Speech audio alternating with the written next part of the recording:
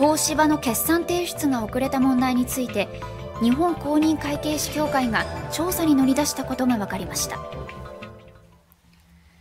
関係者によりますと日本公認会計士協会が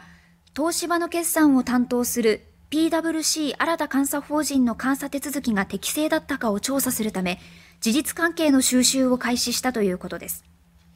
協会は東芝の決算に関する問題が社会的に大きな影響があるとして PWC 新たから監査方法などについて事情を聞く方針です。今後監査方法に問題があると認識された場合にはさらに調査を進めることになります。東芝の決算延期の問題をめぐっては監査法人からの承認を得ることができず決算が適正かどうかの評価を得ない形での異例の発表となりました。